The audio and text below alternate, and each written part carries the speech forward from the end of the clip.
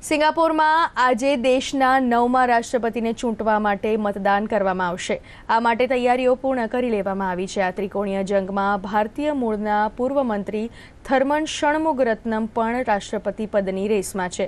સિંગાપોરમાં જન્મેલા છાસઠ વર્ષીય ભારતીય મૂળના અર્થશાસ્ત્રી ષણમુગરત્નમે ગયા મહિને ઔપચારિક રીતે દેશની સંસ્કૃતિને વિશ્વમાં ચમકતા સિતારા તરીકે વિકસાવવા માટેના સંકલ્પ સાથે તેમના રાષ્ટ્રપતિ અભિયાનની શરૂઆત કરી હતી.